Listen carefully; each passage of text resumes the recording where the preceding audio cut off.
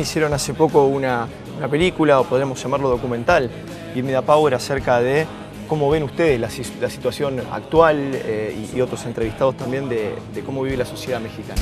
Pues sí, es una película que hizo Olayo Rubio. Eh, Olayo es un contemporáneo nuestro, era un locutor muy importante. Sería como lo que, a la par de lo que sería ahora este, Mario Pergolini, que incluso Pergolini también sale en la película.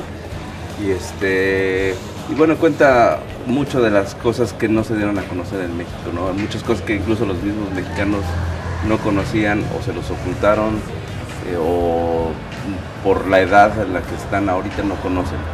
Eh, es una cara de México que es bastante eh, pinche, bastante mala y que por alguna forma de contarla a través de Molotov la gente se puede llegar a, a inmiscuir un poquito más en la historia de, de, de lo que es México.